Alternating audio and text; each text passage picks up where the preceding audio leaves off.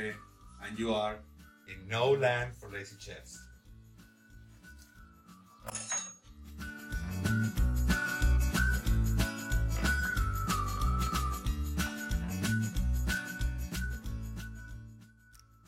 Hello everybody and welcome to No Land for Lazy Chefs. Today I'm going to show you how to do an all-purpose dressing. It could be okay and good for salads, could be for meats, chicken, for any kind of uh, dressing as you can imagine. And it's very simple and very easy. So here's what we're going to need. A bunch of fresh parsley, a coffee spoon of salt, some garlic cloves, an immersion blender.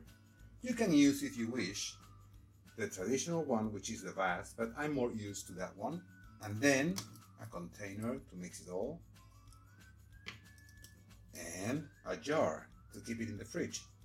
This can last at least 10 days inside the fridge and every time you need it, the dressing, get a couple of spoonfuls of this dressing and put over the meat that you're grilling or just pour it on a salad. So let's go for it. Hey guys, I just realized that I forgot the most important thing for the dressing, which is oil. I'm using one pint of oil. It is extra virgin olive oil, but you can use any oil. Uh, sunflower, canola oil, the oil that suits you most. Okay, so that is the main ingredient, which I forgot to mention earlier. Without that, no dressing. Okay, so let's go for it. So all we have to do now is to get a good bunch, a generous bunch of parsley. Just do it like this. Just like that. Maybe a bit more. Why not? Let's be generous. Here we are. And let's put this away and put it in the mixing bowl that I'm going to use, which is, there you go. Now, the garlics. All these, there is like about seven or eight cloves of garlic in here, inside of the container salt, the tablespoon of salt in there. And of course, the oil. There you go.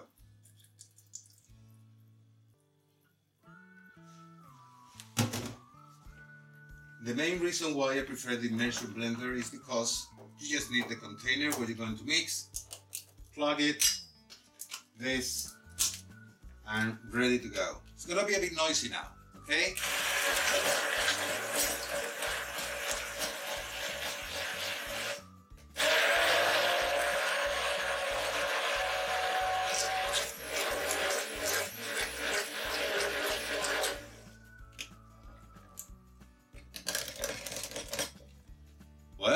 This is most of it. There you go. Now let's put this away. We don't need it any longer.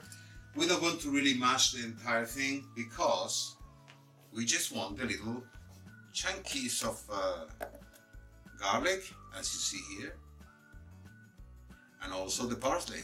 So here it is. And guys, believe it or not, the dressing is ready. All we have to do now is get the jar, fill it up,